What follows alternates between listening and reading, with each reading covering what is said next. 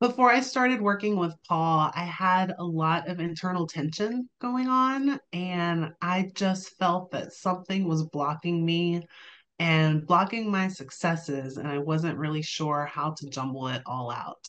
I knew I was looking for somebody to help me push myself past my doubts. Um, I was entering into a new business and um, knew that my critical side was going to be an active part of it. And I wanted to have support managing my mind as I went into a new endeavor. I wanted to get my life coaching business going.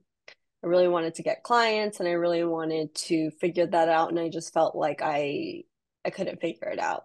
I am a very capable person. I've been very successful in my life, but the kind of consistent thing that kept coming up was just the messages in my head. I never imagined that I would pay for a coach that wasn't from my area, didn't look like me, didn't face the same issues that I had as a woman. So for me to hire an older white guy as my my first coach, it was kind of surprising. But the thing with him, what set him apart from other coaches is that one, I didn't feel like he was trying to sell me. He really was sharing his passion and to help people conquer self doubt and telling me the ways that he could help me do that.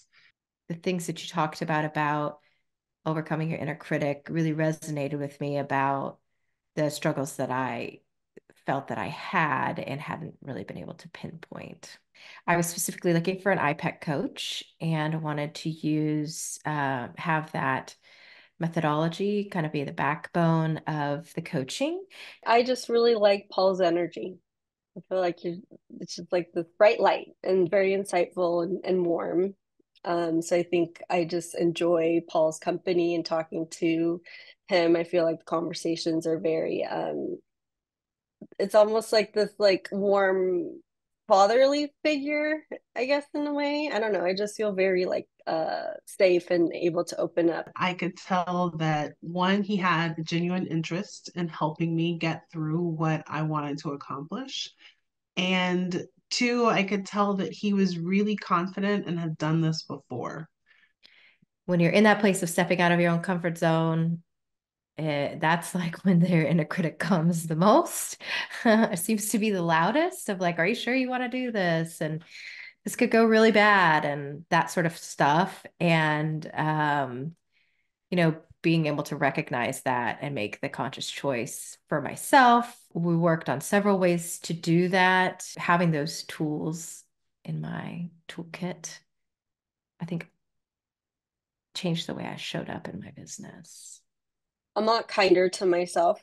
I'm not really um, listening to that little voice inside my mind. Um, I think Paul really helps you get down to like what the root cause of whatever it is that you're struggling with.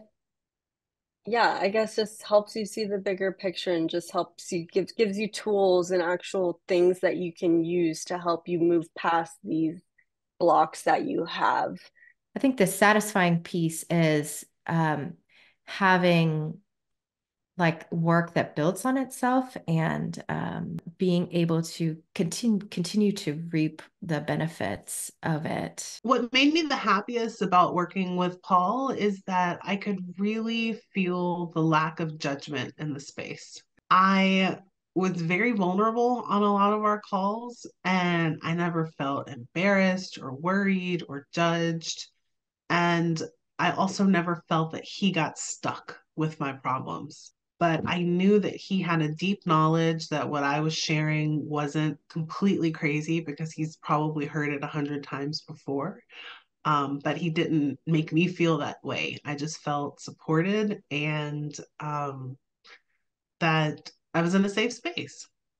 We did the even did the ELI at the end, and were able to compare um, the results over time and, you know, that was a really nice comparison as well and kind of validation of the impact that our work together did have. I just feel a lot more ease now. And I can't even, there's no money that you could put on, you know, feeling from going from feeling anxious and, and worried all the time to just like, ah, you know, I have more peace and ease and, and things are easier and fun. And I think, I don't think you can put a price on that. And I felt confident and co- comfortable that it would be a good journey with him. And it absolutely was.